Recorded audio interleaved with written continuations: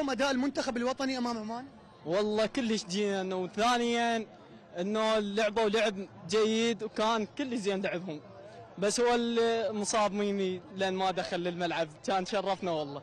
تعتقد أن النتائج السلبية اليوم 0 0 للمنتخب العراقي أمام المنتخب عمان كانت نتائج إيجابية؟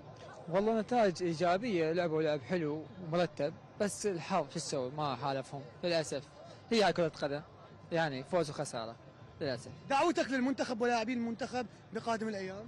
والله يعني شوية يشدون عزمهم يعني المدرب الواعي شوية جيدين على مود ناخذ نحقق فوز جيد. أداء المنتخب اليوم شلون كان؟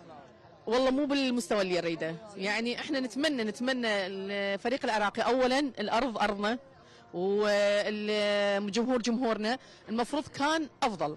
شنو اللي عيب ال- ال- المنتخب العراقي على طول السنين مدار السنين؟ بصراحة مفتح عيوننا لحد الآن. لياقة ما عندهم.